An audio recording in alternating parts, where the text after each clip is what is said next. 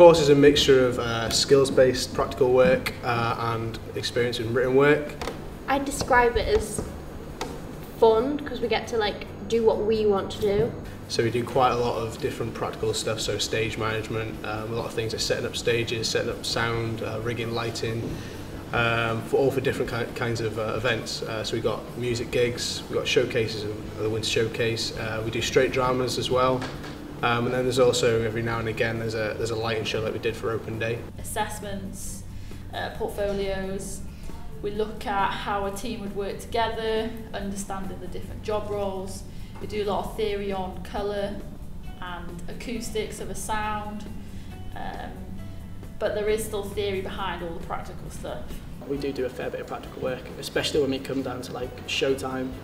Um, yeah, very non-stop, hands-on, very stressful as well, but we get by. Stage management, lighting and sound. We just work on shows.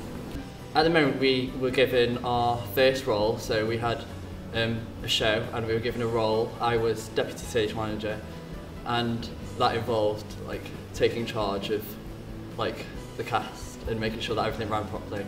The tutors we have are absolutely fantastic. Obviously being in industry professionals, some still work now, um, it's really good to tap into that sort of hands-on experience that they've had, stuff that they can pass on to you, and being able to have access to um, you know, professional quality um, sound systems, lighting rigs, that type of thing. We also have access to uh, the music studio so they can do recording in there.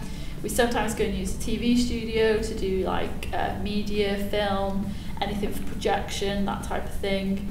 And you know, general lighting, so both intelligent and generic lighting, uh, various different microphones, everything you could possibly need for a production, we've got it here the most recent music gig because it was the most hands-on thing that we've done so far and I got to sit there and it was a public performance so I felt like it was definitely very pressure, very much pressurised environment.